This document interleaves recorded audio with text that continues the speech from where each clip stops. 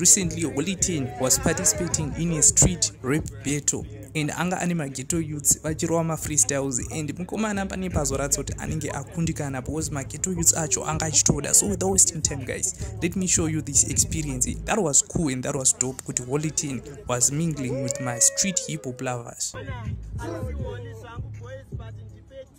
vakunditsvaga kutongwari kupi kwewe wen vandinosika ndova vaya ndavasiya pa10 cause vatikamuputsuke inaso pandosvika ndovazorora vatisavebeta so vakuti tsvagadzi pana iwe wamwari kupi sei usina kuwana pandosvika vesanorohwa nehana cause ini ndorera mabhanangana vatsvaka makoakaa